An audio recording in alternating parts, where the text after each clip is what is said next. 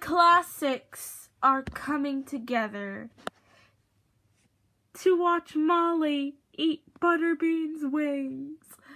Oh, I've been waiting for this moment.